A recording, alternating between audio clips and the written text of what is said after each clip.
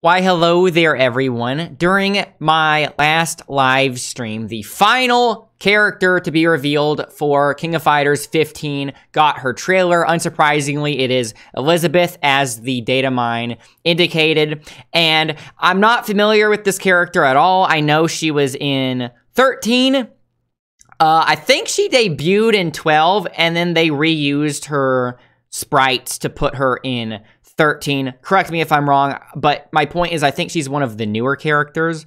Uh, but this is the final KOF 15 trailer, so even if it's a character I'm not familiar with, I have to watch it right and give my very uh, limited perspective on what kind of fighting game character this looks like. So let's watch it.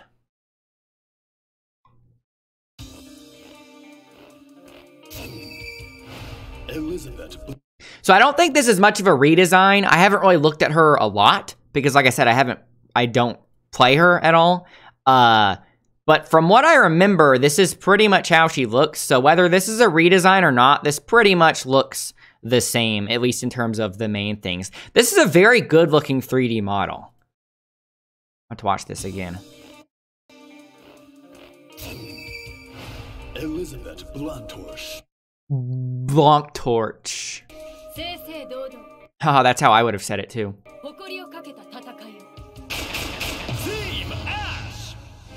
Okay. Okay, so what kind of character is this? Let's see if I can figure out what kind of character this is just from this trailer. That was a grounded button, right? Yeah, she's on the ground. Okay, that's a cross-up maybe. A little hard to tell.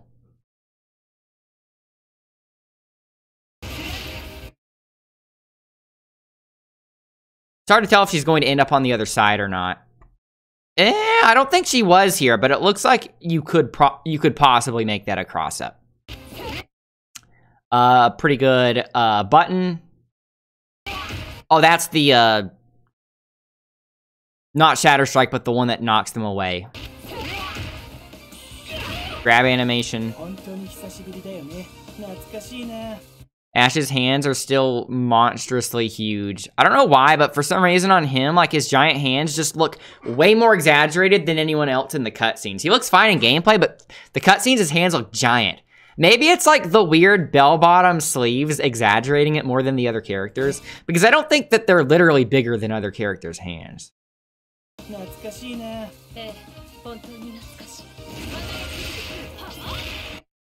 You see that again? Some kind of zoning. Uh, looks like it probably goes through projectiles, maybe low profiles. Certain moves as well. Uh,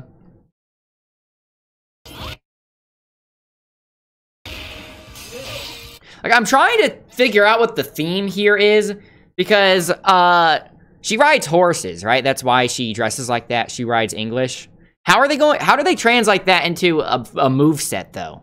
I'm surprised she's not the one with the whip, right? There's another character, Whip, that has the whip. Oh, okay.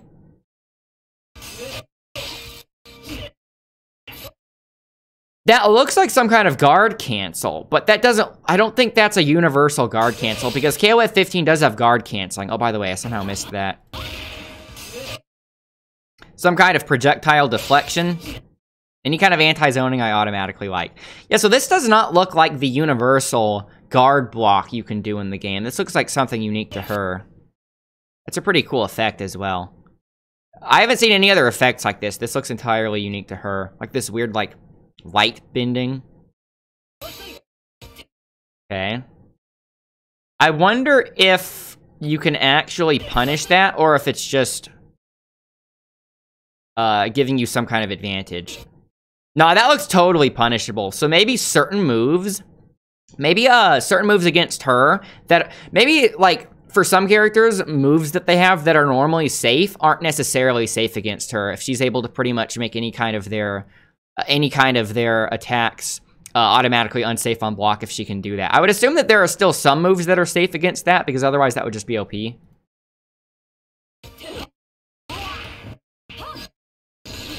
This is uh, one of the meter moves. Another one. Oh, that looks funny. That looks like some kind of like Marvel versus Capcom aerial combo thing, even though I know it's still part of the same move. Just her going straight up like that. I don't know. I'm curious if you could combo after this. It looks like you definitely land significantly earlier than the opponent here, so maybe you could catch them with some kind of low kick or something. That would be cool. Yeah, because this isn't uh, the climax, right? This is just one of the supers. Right? That's what they're calling KOF. It's like the super, the other super, and then the climax super. The KOF 15 terminology is so weird, at least compared to other fighting game terminology I'm used to. Yeah, so that's one. Oh, that's a new stage. I don't think I've seen this stage before. And I'm going to watch this twice because I want to look at the stage in one go, and then I want to look at the actual uh, characters in the other go. I'm just looking at the stage right now.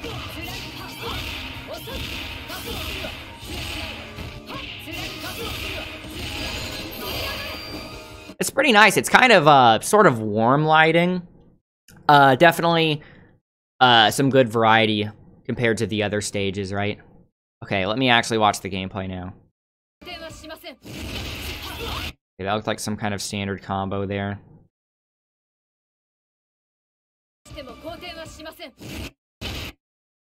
Yeah, like a crouching kick, standing kick, that might be a proximity thing.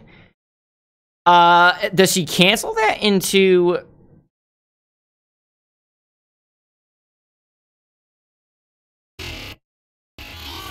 That looks like a special cancel. I'm assuming that special move is what we saw earlier in which he sort of disappears in low profiles, potentially. That probably has some cool uh, corner combo potential because as you, as you saw, it launched him up kind of high. Uh, but from mid-screen, it pushes him far away. But I bet if you were in the corner, you'd be able to uh, juggle Andy since he can't get pushed away from you in the corner, right? That looked like a proximity normal. Man, moves in KOF, it, uh, moves in KOF 15 are so fast. Like, it that makes it so hard to hit confirm things. Like, look at that. Yeah, that might be a proximity normal into a special. I don't know, that maybe that's a command normal. Into another potential special or command normal. Maybe heavy kick, command normal, question mark, special move. I wonder if that's her DP, even though it does move her forward a bit. Oh, so you can actually combo from that, not even just only in the corner, but from mid-screen as well. I bet there's I bet there's some extra stuff you can do with that in the corner, though. Uh, so it looks like that's comboing into itself. Are either of these EX'd? Because I know uh, Shun'ei, when I was playing Shun'ei, I was able to combo his DP into his DP if you used an EX. Oh, that's not an EX. So you can do it twice, normal, and then you can combo into it a third time if you use EX, apparently. That's cool. Kind of funny. Oh, you can keep juggling them. Hey, okay, wait, what did the... Okay, so it looks like the EX version launches them straight up and has them fall straight down. So the EX version gives you more combo, combo ability afterwards. Uh, that first normal looked like a proximity normal. That proximity normal. Command normal. Special. That was an EX, so he should be falling straight down. Yep. Okay, she's comboing into super. Into the others. Uh, was that the one super or two? Not that it matters much. Yeah, okay, into the one super. What was that? She used an EX version of something. It looks like, this looks like the move that she used to block cancel.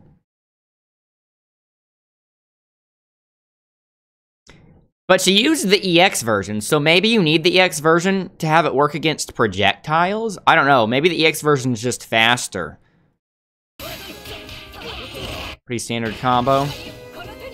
Max mode version. Oh, so this must be a max mode combo. Short hop. Okay, yeah, she, this is basically the same kind of strings we've seen, or the same kind of routes we've seen. They're just kind of putting it all together now. Hey, look, they're getting it in the corner. Into the climax.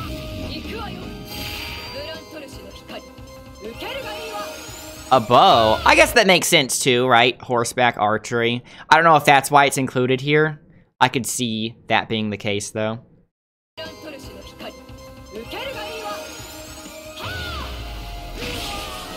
It actually shows it go through his body. I thought they were going to do some sort of like implied violence thing by not having it actually show what happens here. Like it just blacks out right before it hits him, but it actually goes straight through and turns into a bird.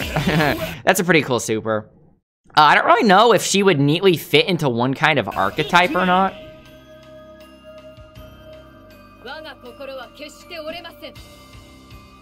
I don't know if she would neatly fit into one archetype or not. She kind of seems like sort of a jack of all trades character. Uh, the I think the main thing is that she's able to block cancel. It's either like some kind of block cancel or some kind of counter stance or something, right? And she also has that special where she uh, turns invisible and maybe low profile. So she seems like she has some good anti-zoning potential. Uh, in which case, I like that because any kind of anti-zoning I automatically like. Uh, but now that this character has been revealed. I think that makes officially 39 characters for the base roster of KOF 15. That is incredibly good. Especially as of late. Lately, a lot of new fighting games, they just really have not launched with that many characters. Obviously, Super Smash Bros. Ultimate has a ton of characters, but that's a really weird anomaly. Plus, it's not even like a traditional fighting game. Uh, I think Soul Calibur started with like 20 something, and that's the main fighting game that I uh like got into uh that's the, that's the first fighting game that I seriously got into competitively. So I kind of use the Soul Calibur starting roster as sort of uh the standard in my opinion. Obviously that's going to vary from person to person, but like Guilty Gear Strive only launched with 15 characters. Sorry, I hit the mic. Other people were okay with that, but 15 is not very many at all in my opinion. Uh, but 39, that's so good. Uh like it's been a while since a new fighting game, a new traditional fighting game has launched with that many characters. So I think that uh, I think the team that I want to uh, initially start playing with is uh, Shermie. I've already played her in one of the beta tests. I know I like her. Uh, Clark. I played Clark's uh, combo trials in KOF 13. Plus, he's like the premier grappler, so I'm probably going to stick with him.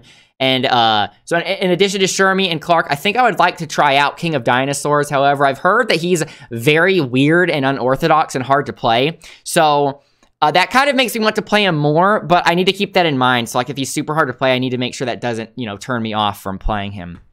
Uh, but anyways, now that all the character trailers have been revealed, let me know in the comments who you plan on playing on day one if you're getting the game. Uh, let me know what your day one team is going to be, like the main team you're going to try learning initially. Uh, and with all that said, I will see you guys later. So, bye for now.